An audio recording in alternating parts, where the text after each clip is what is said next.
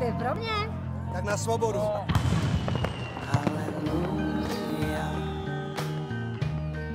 Ta mašina má vepředu takový jako velký prsa.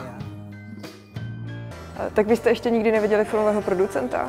Máte jedinečnou příležitost 19. dubna v úterý v univerzitním kině Skala, kde budete možnost vidět film Alois Nebel spolu s našimi hosty, kterými budou Pavel Strnat ze společnosti Negativ a Petr Štěpaně, který ho zasvěceně za vás vyspovídá z těch otázek, které chcete slyšet. Haleluja. Haleluja. Haleluja.